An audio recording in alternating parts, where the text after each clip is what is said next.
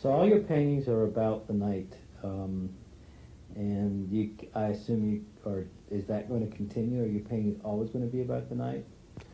Uh, they're, you know, I've always referenced the dawn or the dusk or the lurid land, uh, uh, sunsets and so forth, but never midday. Uh, some of these new computer pieces uh, are um, that I've just recently done ha- reference midday, so uh, uh, that's coming in a bit. Some of the pools I'm working on uh, reflections are of, of midday, so that might be coming back. Yeah. How did you get involved in the the digital um, and the computer uh, imaging um, part of? And how did you get, how did you involve that? And, and how does that inform the way you make a painting? Um, I've always been a little bit, I've always been divided between uh, being kind of a Luddite, you know, hating technology, and another side of me was a real futurist and read science fiction and so forth. So I'm susceptible to the hype like everybody else. Heard about computers, computer, computer, computer. And when I got a job at Penn State uh, a few years ago, uh, I told them I was interested in exploring uh, computer imaging, and they set me up with somebody that could tutor me. And within six months, I was working on Photoshop. I found it interesting because it was, a, it was a way to meld the photographic, which I'd been working with, with the figurative in a way that uh, seemed fresh for me. I hadn't seen anybody do it the way I wanted to do it. Uh, people have been doing this for the last few years, uh, but I hadn't seen anybody do it the way I wanted to do it. I wanted something lush. I wanted something uh, really holistic. The figure is in the landscape. It's not some sort of disjunctive, collage-oriented, discordant kind of image. I really want to make it painterly. So it's making photographs painterly. Uh, it's taking the figures from different sources and, and, and, and, implanting them in these spaces. There's so many things I can do now with the computer in terms of, uh, we were talking about the symmetrical effect uh, in a lot of these pools that I do and, and lakes. You have the reflection, uh, what is above is below, that strange psychological feeling we have when we see those kinds of reflections. Now I can put a, a figure inside of that, uh, some found figure. I look at everything, life-saving manuals, pictures I've taken of, of models, of dancers, and so forth and so on. Put those in a situation like that. If I want a reflection in a pool, there are ways to manipulate that in the, uh, the computer in a very interesting way that I could do as a painter, but this is different. It has a fresher feel for me in a way. So do you use your own photographs that you've taken uh, as, as uh, beginning points when you're uh, manipulating them with the computer? Most of the back, all, almost all the backgrounds are from my own photographs of night scenes of, of, of landscapes. A lot, a lot of them are from video I do at night. So uh, some of the backdrops you'll see in some of the pictures, like for example, a painting like The Great Nearness, uh, almost everything in that is from my video. Uh, then um, the figures are often also from, uh, they can be from secondary sources like a life-saving manual. I got interested in using uh, figurines, so I started working with dolls and what have you. I found a couple of very lifelike dolls, and I, I manipulated them a bit. I created some new hairdos for them and changed their clothing a bit and their facial expressions a bit, and put those into uh, real situations where I'd have them suspended somehow. I'd do a video of them. I'd put that into the computer. So uh, there are a variety of sources for getting the uh, figures. Some of the figures are painted in the computer, so some of the figures are actually painted but electronically painted. So you have uh, a vignette or you have uh, an idea that uh, you make electronically. Do you then print that um, as a, a sketch that you use or as a point of departure that you use? Or do you actually output them onto canvas? My original idea was to use this as a sketching device for paintings. I had a pretty big uh, landscape uh, entitled Strange Attractors, and about halfway through the figure, uh, uh, halfway through the painting, I couldn't quite figure it out.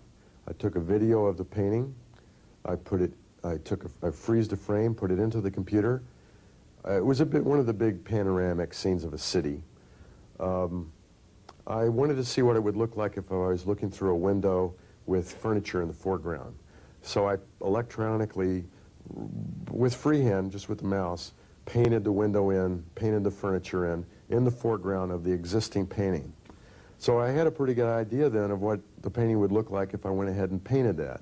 I didn't like it. So I didn't use it. I trashed the file. I didn't put that in the painting.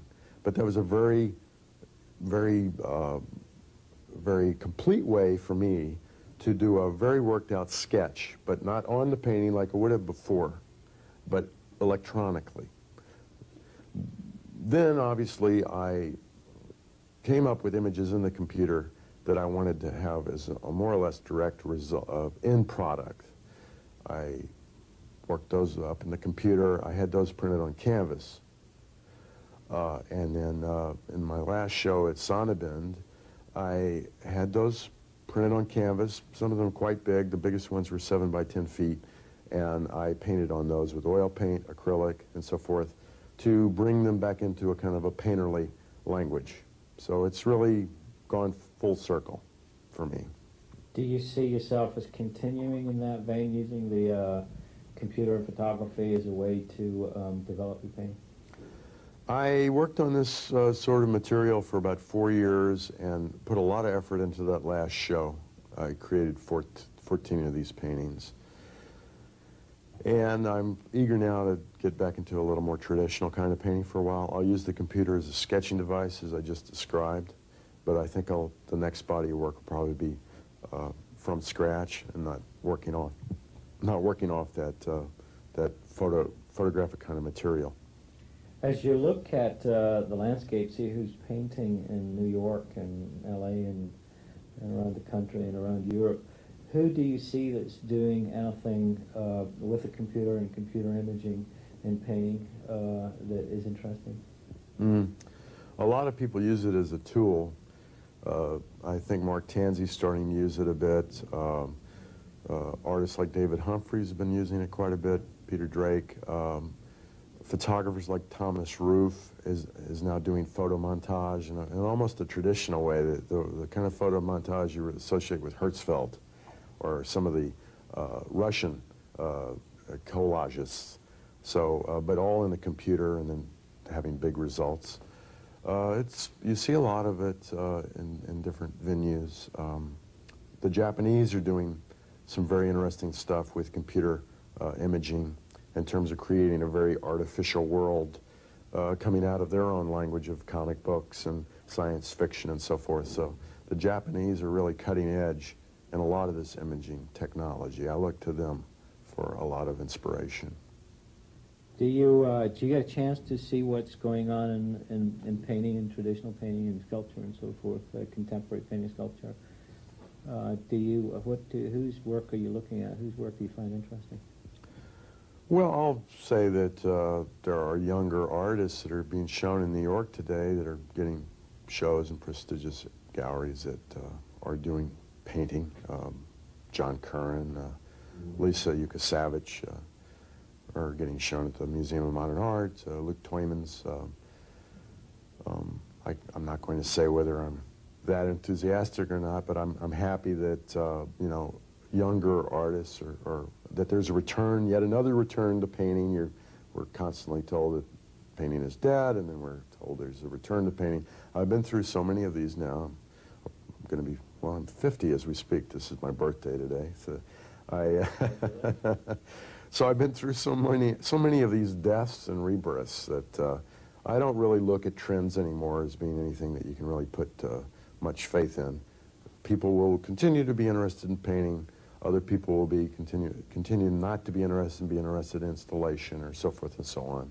So painting as a, a sub, you know, a, a subgenre of the art world, it, it, it will continue. Uh, recent painting I was most excited about was German painting, uh, Richter especially, Gerhard uh, Richter, and, and, and, and Kiefer was somebody that I really, I still am inspired by. So I think of the international painting world, I, I, I, still look to the German painters of the 80s being very, very, uh, uh, very inspiring. Well, as, a, as a, an inspiring artist yourself and as a teacher uh, and as somebody who's just reached their 50 birthday today, what advice would you give to young artists? Uh, this is a good moment to really uh, find inner resources in which to develop a personal language because This, uh, the, uh, the climate of pluralism continues. There's a place for everyone, it seems. So if you're a landscape painter, you'll find a gallery that's interested in showing landscape painting. If you're a figurative painter, there is a gallery for that. If you're developing something else, video, performance, what have you, you'll find a place, a venue.